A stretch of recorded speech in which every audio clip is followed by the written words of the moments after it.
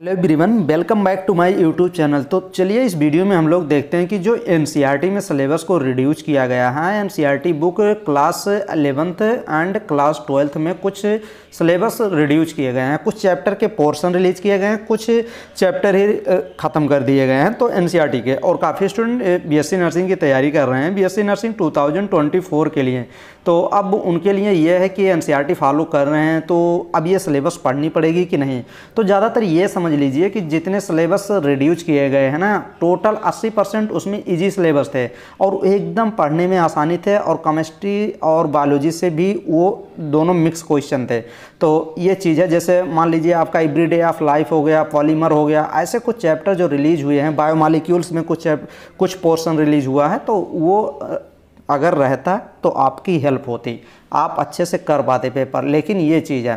तो चलिए ये देख लीजिए पूरे, ये देखिए, ये आपको जो पीडीएफ है ना N M C N M C की वेबसाइट पे आप जाएँगे, ये सिलेबस आपको मिल जाएगा, जो रिड्यूस किया गया है। तो देखिए, आप अगर आपके पास एन e आप बुक परचेज कर लिए हैं, और पुरानी वाली एन e है तो वेरी गुड पुरानी वाली आप अगर जो भी न्यू एन e आएगी, ये सिलेबस रिड्यूज के माध्यम से तो अगर पुरानी एन है तो अच्छी बात है आपको। आपको हेल्प मिलेगी। जैसे देखिए फिजिक्स में मैं बता दे रहा हूँ कि आपको बीएससी नर्सिंग की अगर आप तैयारी कर रहे हैं 2024 की तो आप ये सिलेबस फॉलो कर सकते हैं और अच्छे से देख लीजिए और हर चैप्टर को आसानी से आप मेरे चैनल के माध्यम से कर सकते हैं, इसी चैनल के माध्यम से। तो देखिए फिजिक्स का मैं बता दे रहा हूँ फिजिक्स में देखिए फ़र्स्ट यूनिट वाइज है। यूनिट में जो फिक्स मेज़रमेंट वाले हैं तो इसमें देख लीजिए, इसमें सिग्निफिकेंट फिगर है। काफ़ी स्टूडेंट कहते हैं सिग्निफिकेंट फिगर से क्वेश्चन नहीं आते हैं तो आते हैं। तो इसमें अगर बीएससी नर्सिंग की बात किया जाए तो सिग्निफिकेंट फिगर इंपॉर्टेंट है डायमेंशन इंपॉर्टेंट है और एस यूनिट ये तीन चीज़ बस इंपॉर्टेंट है। आप ये तीन चीज़ कर लीजिए, आपका काम हो जाएगा। फिर उसके बाद ये देखिए सेकेंड यूनिट में काइनामेटिक्स आएगा। काइनामेटिक्स देख लीजिएगा, इसमें भी काफ़ी चीज़ें होती हैं वेक्टर से क्वेश्चन आ जाते हैं और एकदम बीएससी नर्सिंग में इजी क्वेश्चन आते हैं, एकदम जनरल साइंस के बेस पे क्वेश्चन आते हैं। तो मैंने बुक्स इसीलिए बता दी है कि एन e के साथ साथ में आप कौन सी बुक और परचेज कर लें।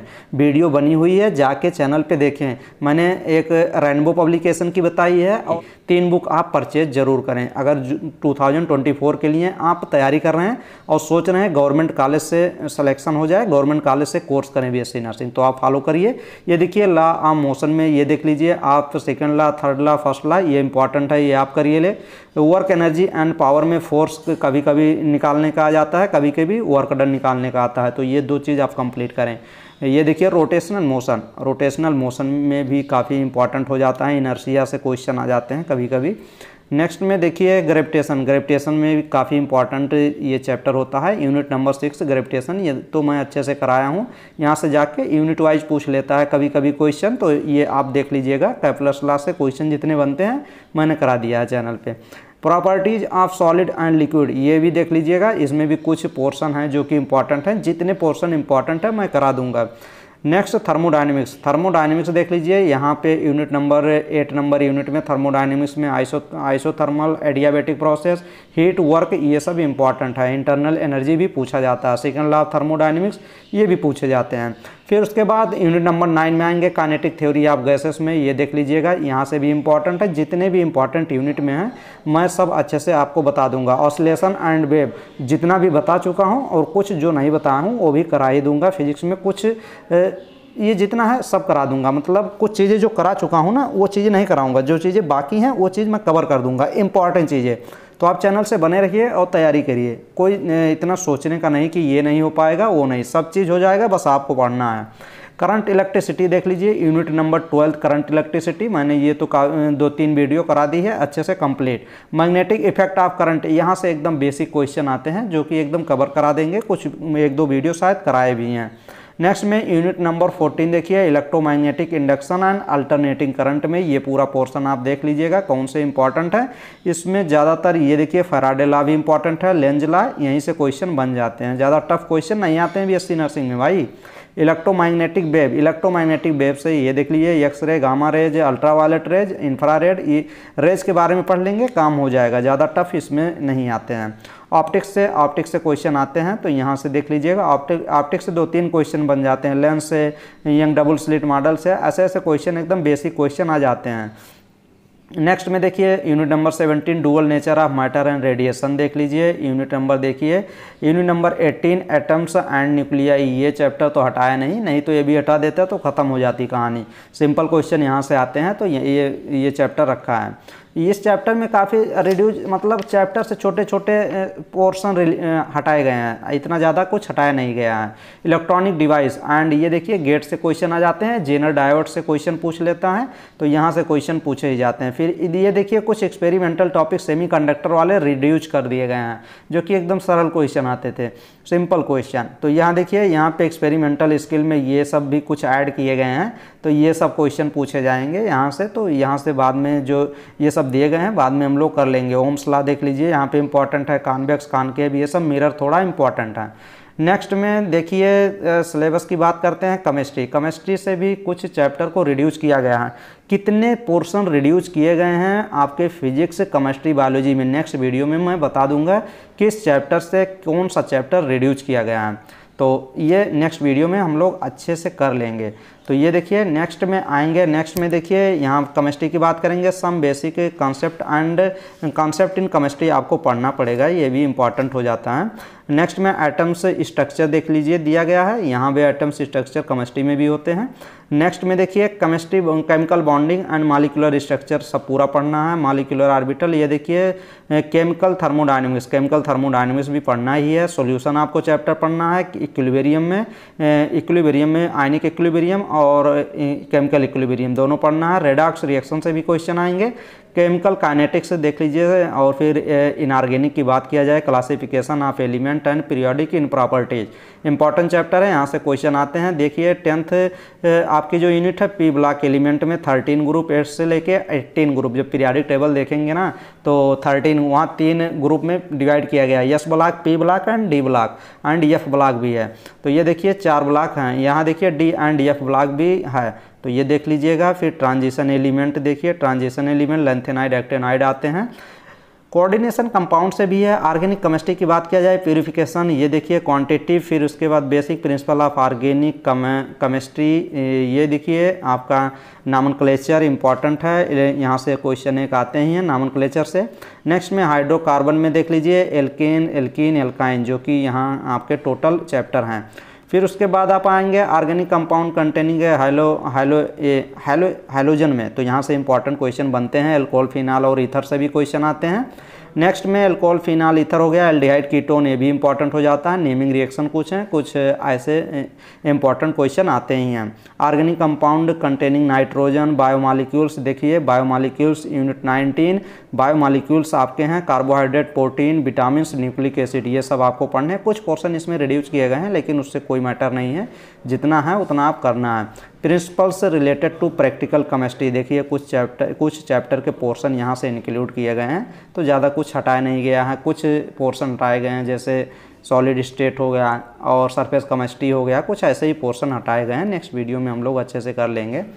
चलिए, बायोलॉजी की बात कर लीजिए। बायोलॉजी में देखिए अलेवंथ बायोलॉजी क्लास की पहले देखते हैं। Unit number one, diversity in living words. यहाँ पे देखिए, यहाँ पे लिविंग वर्ड्स आपको पूरा है। कुछ पोर्शन वहाँ से रिड्यूस किए गए हैं। एड्स जो टेक्सोनॉमिकल एड्स था, वो structure organisation in animal unit number second है, ये पूरा आपका मार्फोलॉजी से रिलेटेड मार्फोलॉजी में कुछ ऐड भी किए गए हैं। Cell structure and function unit number second plant physiology plant physiology में देखिए, आपके कुछ चैप्टर रिड्यूज किए गए हैं। मिनरल न्यूट्रिशन ट्रांसपोर्ट ये कुछ फोटोसिंथेसिस यहाँ पर respiration plant growth and development ये सब जो चैप्टर हैं, आएँगे। ह्यूमन फिजियोलॉजी देखिए ह्यूमन फिजियोलॉजी में ब्रीथिंग एंड रिस्पायरेशन से डायरेक्ट शुरू कर रहा है मतलब फ़र्स्ट एब्जॉर्प्शन वाला चैप्टर वो रिमूव किया गया है। तो वो इजी चैप्टर था और थोड़ा कम क्वेश्चन पूछे भी जाते थे तो रिड्यूस किया गया, लेकिन वो पढ़ लेना, आप पुरानी एन में दिया गया है, एकदम सिंपल है तो कुछ आपको छोड़ना नहीं है। जो रिड्यूज हुए हैं सिलेबस वो भी आपको कवर करने हैं, क्योंकि वो सिंपल थे सिंपल क्वेश्चन वहाँ से पूछे जाते थे और पूछे भी जाएँगे एक दो क्वेश्चन। ऐसा नहीं है कि वो पूछे ही नहीं जाएँगे। जनरल साइंस से क्वेश्चन बनेंगे तो एक दो क्वेश्चन वो आएँगे ज़रूर। तो आपको वो सब छोड़ने नहीं है simple question. Body fluid and circulation, excretory excretory product, locomotion and neural control and coordination chemical coordination. कुछ इसमें सेंसरी आर्गन से कुछ हटाए गए हैं तो वो पढ़ना भी नहीं है। तो कुछ जो हटाए हैं उसको पढ़ना है कुछ रिमूव किया गया है उसको नहीं पढ़ना है। तो उस हिसाब से मैं करा दूँगा सिलेबस में। Sexual reproduction in flowering plant एक चैप्टर यहाँ से रिमूव किया गया है क्लास ट्वेल्थ से। तो वहाँ से एक ही दो क्वेश्चन बनते थे। तो ऐसा कुछ नहीं है कि वो आप देख लेंगे जहाँ वो लाइफ स्पान से रिलेटेड क्वेश्चन एक बनता था वही एक, एक दो क्वेश्चन फ्रेम होते थे उस चैप्टर से। तो वो चैप्टर कर लेंगे, छोड़ के नहीं जाएँगे इंपॉर्टेंट है। ह्यूमन रिप्रोडक्शन ये इंपॉर्टेंट हो जाता है रिप्रोडक्टिव हेल्थ ये भी इंपॉर्टेंट हो जाता है। यूनिट नंबर सेवन आएँगे जेनेटिक्स एंड एवोल्यूशन इंपॉर्टेंट हो जाते हैं। इसमें सब तीन चैप्टर थे, तीनों के तीनों हैं, कुछ पोर्सन रिमूव किए गए होंगे। बायोलॉजी एंड ह्यूमन वेलफेयर देखिए, ये भी इंपॉर्टेंट है। बायोटेक्नोलॉजी इकोलॉजी इकोलॉजी से दो तीन चैप्टर हटाए गए हैं तो ये पढ़ने की आवश्यकता नहीं है। जो रिमूव किए गए हैं इकोलॉजी में, उसको पढ़ने की आवश्यकता नहीं है।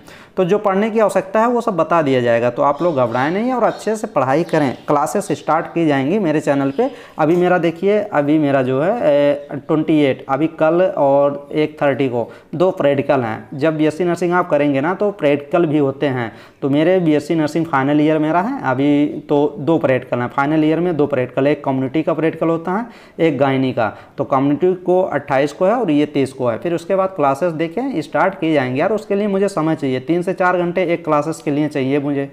तो अभी उतना समय मिल नहीं पा रहा। लेकिन जितनी प्रीवियस वीडियो है, अभी करिए। इसी के वीडियो के लिंक में मैं प्रोवाइड कर दूँगा लिंक। वीडियो को रिवाइज करते रहिए। अट्ठारह उन्नीस वीडियो पढ़ चुकी है ये तो वो वीडियो सब प्रीवियस जितनी मैं बता रहा हूँ, उतनी रिवाइज कर लीजिए। और ये देखिए, कहते नहीं एक्सपीरियंस का हेल्प लीजिए। मेरा, मेरी हेल्प आप लीजिए सिलेक्शन हो जाएगा। क्योंकि मैं सब चीज़ें, मुझे पता है कहाँ से क्वेश्चन पूछी जाएँगी। तो कैसे आप बीएससी नर्सिंग करेंगे, कैसे बीएससी नर्सिंग के बाद जॉब भी करेंगे, सब चीज़ें बताते रहूँगा। लेकिन पहले आप अच्छे से प्रिपरेशन करिए, कैसे करना है, कितने घंटे पढ़ना है, पाँच छः छः घंटे अभी पढ़िए, अप्रैल तक फॉर्म आ जाएँगे इसके सी नेट के और अदर स्टेट में एम्स में तो काफ़ी स्टूडेंट एम्स के लिए तैयारी कर रहे हैं, उत्तर प्रदेश के लिए, झारखंड, छत्तीसगढ़, ये काफ़ी स्टेट के लिए तैयारी कर रहे हैं तो आप अच्छे से तैयारी करें, और बुक्स जो जो बता दी हैं, वो बुक्स आप परचेज कर लें। चलिए नेक्स्ट वीडियो में डिलीटेड पोर्सन मैं आपको बता दूँगा कि कौन कौन से पोर्शन से क्वेश्चन और आपको पढ़ने हैं, नहीं पढ़ने हैं, जो डिलीटेड हो गया ना कुछ पोर्शन ऐसे हैं जिसको हटा दिया गया है। चैप्टर से ही हटा दिया गया है, लेकिन वो चैप्टर आपको पढ़ लेने हैं। तो नेक्स्ट वीडियो में हम लोग ये एकदम अच्छे से कवर कर लेंगे। तो वो भी बता देंगे, सभी चैप्टर ऐसे नहीं है कि जो हटा दिए गए हैं, उसको पढ़ने नहीं है। पढ़ने हैं इंपॉर्टेंट हैं। तो नेक्स्ट वीडियो में हम लोग कर लेंगे फिजिक्स केमिस्ट्री बायोलॉजी में जो हटाए गए हैं पोर्सन चलिए, आप लोग अच्छे से पढ़ते रहें।